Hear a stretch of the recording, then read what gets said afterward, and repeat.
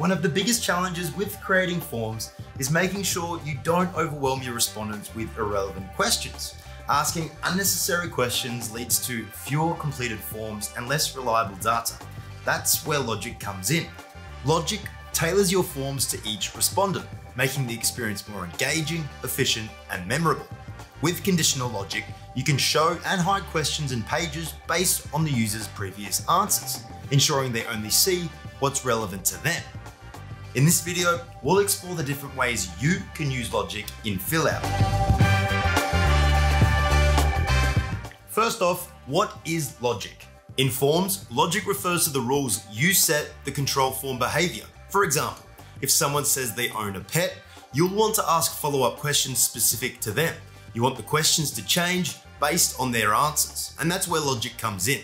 Users only see questions that are relevant to them, but logic is more than just hiding questions, and there are several other ways you can use logic in Fillout, like showing or hiding pages depending on your respondent's input, calculating prices or scores from responses, and using form validation to define rules that ensures responses are correctly formatted or aren't on a blacklist. While most form builders hide logic behind their paid tiers with Fillout, it's available on the free forever plan. So how do you set up logic in Fillout? First, let's talk about field logic. This allows you to control individual form fields based on user inputs. Here's a simple example. We have a question asking if the user has a pet. If they select yes, an additional field appears asking for the type of pet. To set this up, you navigate to the field settings on the right side here and select logic. Then select to either show or hide the field and click set conditional logic. Then add your condition or rule. When do you have a pet is yes, I want this question to be shown. You can also add multiple conditions and group conditions for more complex logic. Field logic can also be used for input validation, ensuring that the respondent provides the correct information before moving forward. If they don't, then they can't.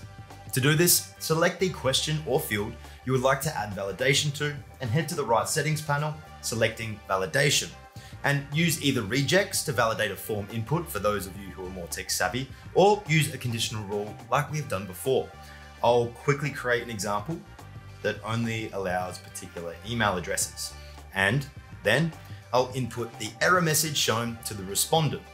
I'll even use the respondent's name to personalize this message. Next, let's move on to page logic. This controls the display of entire pages based on user responses.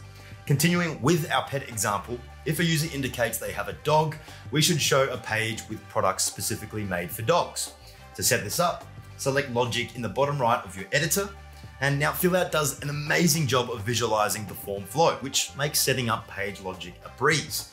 We have a page for dog products here and a page for cat products. Only when the respondent selects dog for the question on this page, do I want them to move onto the dog product page. So remove these branches from the current flow, creating two separate paths. Then create a branch from the questions page to the cat's product page and continuing along, then add another to the dog products page. Select set condition, and like we did before, create the defining rule. When the response to what type of pet do you have is dog, the respondent will be taken on this path, and when they select cat, the other.